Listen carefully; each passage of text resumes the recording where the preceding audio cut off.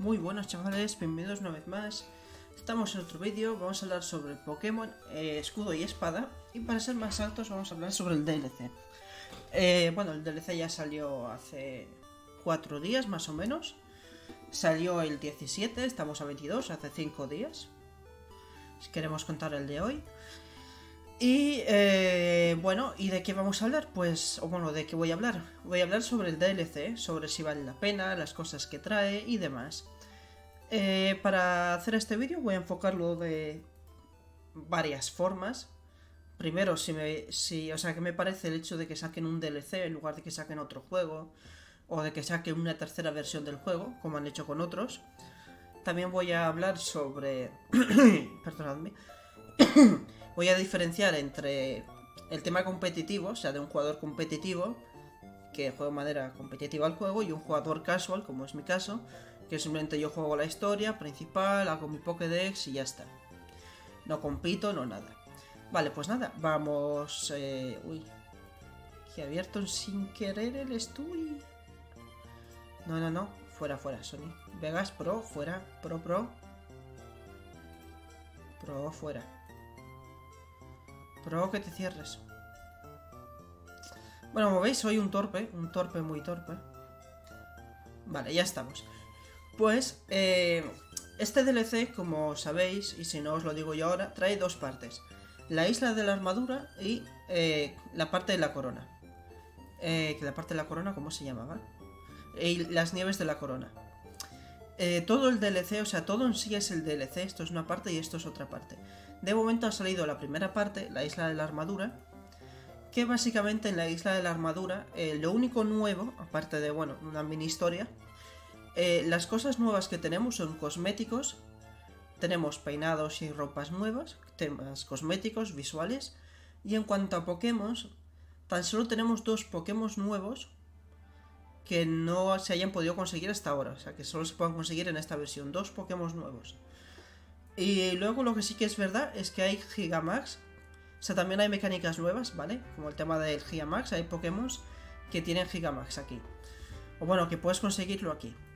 Por lo demás, todo lo demás no es nada nuevo. Todos los otros Pokémon son Pokémon anteriores. De hecho, vamos a ver aquí la Pokédex de, del DLC. Estoy hablando de la primera parte, ¿vale? La que ha salido ahora mismo. La segunda todavía nada. Eh, vamos a bajar después de estos 400. Bueno, estos son los que podéis conseguir con el Pokémon Home. Que no, lo, no están en la isla, ¿vale? No, ninguno de estos está en, en la isla. Eh, estoy mirando, ¿vale? Revisar bien por si acaso, pero no, ninguna. Ninguno de estos están en la isla. Vale, vamos aquí. Los únicos nuevos que hay, o el único nuevo que hay, es el Slowbro de Galar. Este es el nuevo. Y luego el nuevo que es el regional. El regional, el regional, el regional. O bueno, el regional o el de la isla, por así decirlo. Es un regional al fin y al cabo. Que si lo veo aquí, Kufu. Kufu y bueno, y su evolución y luego los dos gigamas que tiene.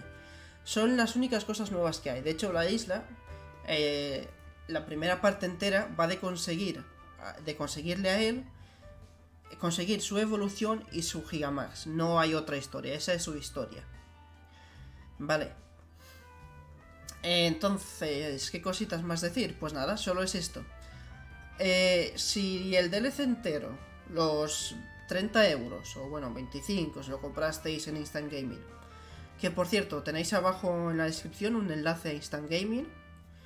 Por si queréis comprarlo, yo lo compré de ahí. Funcionó a la perfección, al instante, de maravilla. Eh, a lo que vamos, publicidad fuera, seguimos con esto. Eh, si el DLC fuera solo la isla de la armadura, la verdad sería un timo. O sea, sería demasiado caro pagar 30 euros, eh, 25, 30 euros por eh, dos Pokémon nuevos. Es un poco. duele, duele un poco en el alma. Más aún si ya tienes eh, tú los otros Pokémon. O sea, si ya tienes eh, el Pokémon Home y en él tienes a los Pokémon, pues pagar por el DLC duele un poco en el alma. Eh, pero bueno, ya. Pero lo bueno de esto es que tiene dos partes, o sea, la nieve y la corona también. Y en las nieves de la corona sí que va a ser una historia al parecer más larga, de unos cuatro capítulos. Van a volver todos estos legendarios, como ya sabemos. eh, y los legendarios van a volver con formas regionales. Y eso está muy guapo. De hecho, ¿dónde están? Aquí. Más abajo lo tengo aquí. Este es el de la, bueno, el de la isla, el de, el de la, de la corona, de las dioses de la corona. Luego están los Regis, que van a volver con una forma galar. Están los pájaros, que van a volver con forma de galar. Eh, otros Lowkin también. Luego estos son los normales, que ya los teníamos en otras versiones. Y hay más legendarios aquí. También están. Aquí están los reyes, ¿vale? Bueno, y arriba también. O sea, van a volver un montón de legendarios. Y esta parte sí que yo la veo bien. O sea. Sobre todo, o sea, sí veo bien. Hay que ver cómo se pueden conseguir todos estos Pokémon. Pero si traen todas estas cosas y los Tapu. eh, entonces sí que me parece un buen trato los 20 euros. O sea, bueno, 25 o 30 euros. Por todo este tema. Hay que ver cómo lo traen, hay que ver la historia. Eh, ¿Qué más cosas os puedo decir? Pues vale, ahora vamos a hablar de dos tipos de personas. Los competitivos, los que juegan de manera competitiva, y los que juegan de manera eh, normal, casual, como yo. Para una persona casual, ahora mismo el DLC no le corre prisa. Porque tampoco te trae gran contenido, de hecho el contenido te lo puedes pasar unas 10 horas tranquilamente. Yo en 10 horas me lo he pasado, jugando 10 horas ahí de continuo, pam pam pam pam. Me he pasado ya la Pokédex, porque parte de los Pokémon, si ya completaste la primera, los 400, ya, lo, ya la tienes completa en este. Entonces, pues ya me he pasado la Pokédex, me he pasado la historia y todo en unas 10 horas. Así que, como veis, tampoco tiene mucho detrás, mucho trasfondo detrás. Eh, lo bueno de esto, si eres jugador nuevo, bueno, si eres un jugador casual, pero nuevo, que has empezado ahora con el Pokémon Escudo y Espada, eh, si te compraste también el DLC, lo bueno es que puedes hacer el DLC en cualquier momento. No hace falta que esperes hasta el final de la historia. Entonces, en tu caso, sí que te va a llevar más tiempo, porque seguramente no tengas Pokémon al 100 ni nada de eso. Y tengas que echarle ahí más tiempo para conseguir los Pokémon, porque es verdad que el nivel de, de la isla es bastante grande. O bueno, no sé si es adaptativo, plan de si tú eres nivel 15 se adapta a ti. En mi caso, como me he pasado el juego, los enemigos estaban del 60 hacia arriba. Entonces, cuando tenía que hacer los enfrentamientos, es verdad que eh, si no hubiese tenido a mis Pokémon ya leveados a nivel 100 y, y bueno, y buenos Pokémon, pues sí que me hubiera costado. Eh, así que bueno, pero si ya tienes tus Pokémon, si ya te pasaste la historia y demás, 10 horas tienes el juego hecho. Eh, ¿Qué cositas más puedo decir? Pues no puedo decir la verdad mucho más a su favor. Lo bueno a su favor es que te trae cosméticos, a quien le interese, la verdad están bastante guapos y son gratuitos. O sea, muchos de ellos te los dan simplemente por jugar. Trae mecánicas, el tema de los Gigamax, trae Gigamax que antes no podrías conseguir. Y trae una mecánica muy buena que es que tú puedes... eh, cualquier Pokémon que pueda hacer Gigamax en el juego, tú en la isla lo pu- puedes hacer que ese Pokémon adquiera el Gigamax, al igual que puedes quitarlo. Entonces tú, si ya tienes un Pokémon que conseguiste, que le veaste, que es súper guay, pero lo único que le falla es que no tiene ese Gigamax, pues tú vas a la isla y le puedes dar el Gigamax. Y si en algún momento se lo quieres quitar, tema Eevee, por ejemplo, Eevee si tiene el Gigamax no puede evolucionar, pues se le puedes quitar el Gigamax a Eevee, puedes hacer que ese Eevee evolucione. O sea, esa mecánica está muy guapa, está muy bien. Es verdad que cuesta un poco conseguir los ingredientes, o sea, conseguir lo que necesitas para hacer el Gigamax, pero bueno, se puede hacer. Y ahí está, alguna dificultad tenía que tener un poco. Eh, por lo demás, ¿qué más cosas? También está muy bien para que no tenga el Pokémon Home ni tenga ninguna manera de conseguir los Pokémon antiguos. Está muy guapo porque te meten ahí para adelante, toma Pokémon para que te aburras. De hecho, aquí veis un listado completo. Bueno, tenéis el listado como siempre en, en, Wiki, en Wikidex o en cualquier lado. Eh, y son 211. Bueno, de momento 210. Porque Zarude. Bueno, vamos a poner 208, ¿vale? Vamos a poner 208 porque estos todavía no sé cómo se consiguen. El Polygon 2 y Polygon Z, no sé si se pueden conseguir. Al Porygon sí porque te lo dan, pero estas dos cosas ni idea de momento. Y al Zarude de momento tampoco lo tenemos. Así que nada, vamos a poner de momento 208 Pokémon. 208 Pokémon que para ti, si no tienes manera de conseguir ninguno, pues oye, está muy bien, son 208 Pokémon nuevos. Tampoco son todos nuevos, porque como veis el Dito, ya lo podías conseguir antes, por ejemplo. El Wildlord de Wildmer ya lo podías conseguir antes, por ejemplo. O sea, hay muchos Pokémon que ya podrías haber conseguido antes. O sea, tampoco son todos nuevos. Estos, estos tres también los podrías haber conseguido antes. Pero bueno, aún así pon que sea la mitad. De la mitad de 200 son 100, oye. 100 Pokémon nuevos. Eh, no está mal. También está muy guapo porque consigues todas las formas regionales. ¿Vale? Todas las formas de Alola, así, las puedes conseguir. Solo tienes que hacer un, minijuego, que básicamente es buscar por, el mapa una cosa. Y la vas encontrando y te van dando los, los Pokémon regionales. Está muy guapo.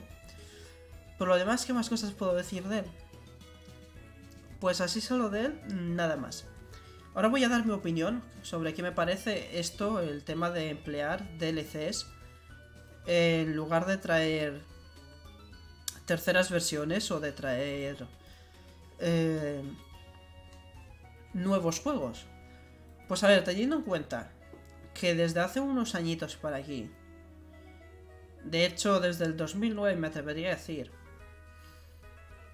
bueno, 2012, vamos a poner 2012, porque entre el 10 y el 12 dejaron dos añitos. Vale, a partir de aquí era juego casi por año, y eso era muy molesto. Luego 2012, 2013, 2014, aquí dejarme un poco, 16, 17, 18, 19. Y que me traigas ahora otro juego para el 2020 es bastante molesto. Un juego cada año, pim pam, pim pam, personalmente es molesto. Porque tienes que gastar otra vez de cero, todo tu dinero y demás. Es verdad que es otra historia, puede que sea otra historia y eso está bien. Pero bueno, tampoco me molesta que alarguen un poco el juego, que dejen más tiempo, por así decirlo. Y de paso, pues al dejar más tiempo entre juego y juego, porque van a sacar otro nuevo seguro, pues metieron unos DLCs para, bueno, para los jugadores que quieran más historia, pues que gasten un poco su dinero. No está mal, la práctica no está mal del todo. Eh, la gente se queja por gusto. Y se queja por gusto por simplemente porque han metido una Pokédex reducida de 400 y luego piensan que están tapando su error con los DLCs. Esto no es así. Si ellos quisieran tapar su error, Simplemente cogerían, meterían una actualización gratis y ya podrías conseguir todos tus Pokémon otra vez y punto. Como han hecho cuando han metido el Pokémon Home, que tú ya podías conseguir unos Pokémon de más sin falta de DLC ni leches. Y de hecho tú no necesitas tener el DLC para poder conseguir los Pokémon del DLC. Los puedes hacer por intercambios, los puedes meter de alguna manera al juego. Pues no importa cómo los consigas, los, eh, los Pokémon ya están ahí. O sea, tú puedes conseguirlos. Y la gente se queja por gusto porque la gente no piensa que antes las prácticas de antes eran peores. Y esto lo llevan haciendo desde la primera generación, y yo lo he vivido. En la primera generación, por ejemplo, te sacaban el rojo y el azul, estamos hablando del 98. Eh, y luego te sacaban el amarillo que básicamente era la misma historia, pero te cambiaban el Pokémon principal y bueno, había alguna, alguna cosita.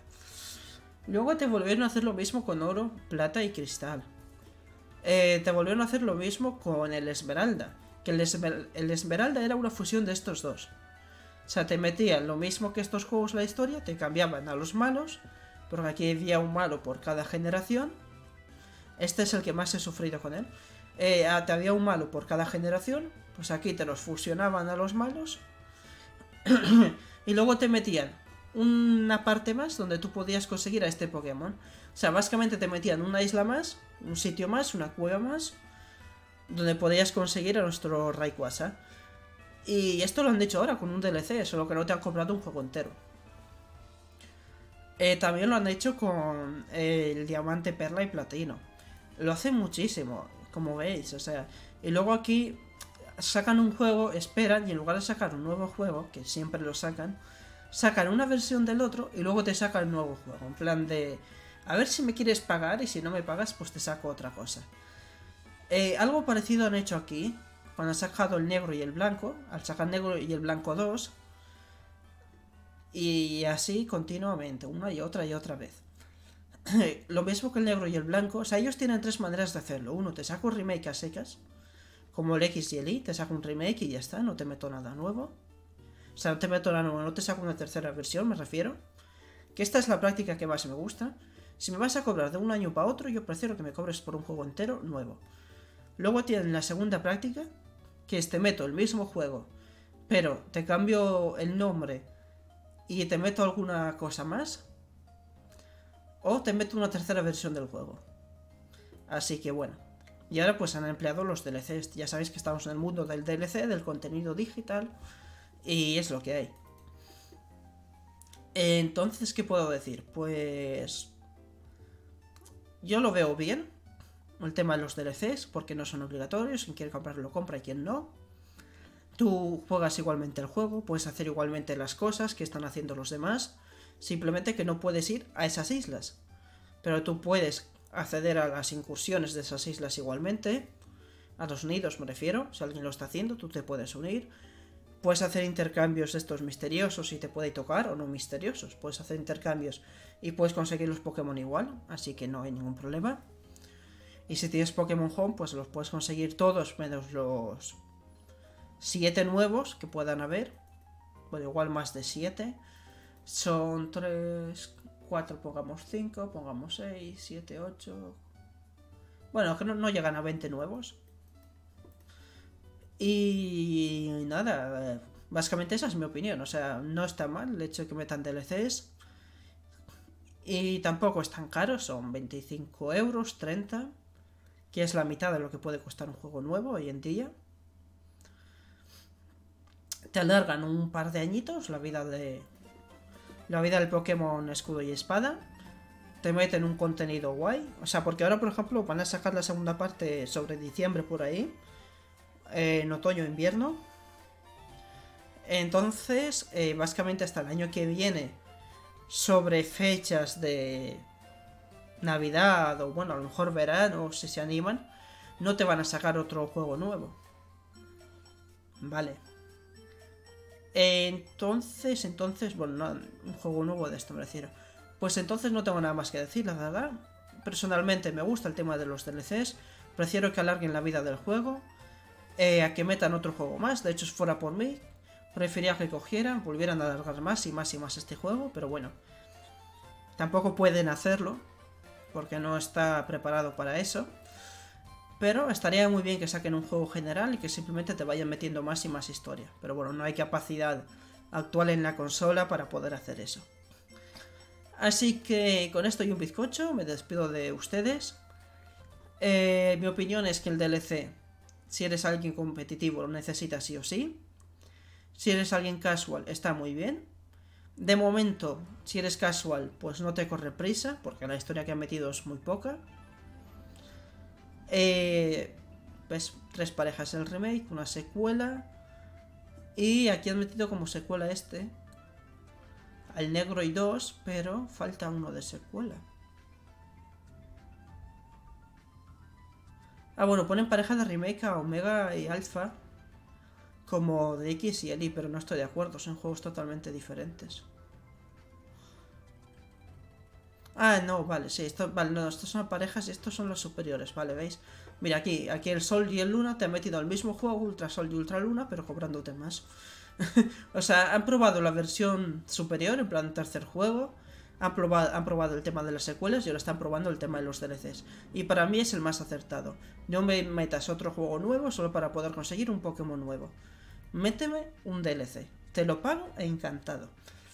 Eh, lo dicho, si sois jugadores casuals, no os corre prisa el DLC, podéis dejarlo ahí, esperar un poquitín más y comprarlo cuando salga la segunda parte o cuando lo veáis. Eh, si sois jugadores competitivos, pues lo vais a necesitar porque podéis acceder a una gran cantidad de Pokémon. Que bueno, supongo que con el Pokémon Home ya lo tendríais, pero también podéis a los nuevos y podéis a la mecánica del Gigamax, que sé que la necesitáis y que es de agradecer. Eh, así que con esto y un bizcocho, como ya he dicho tantas veces, me despido de vosotros, dejad lo que queráis en los comentarios. Espero que os haya gustado, darle a like, compartirlo y nos vemos en un próximo vídeo.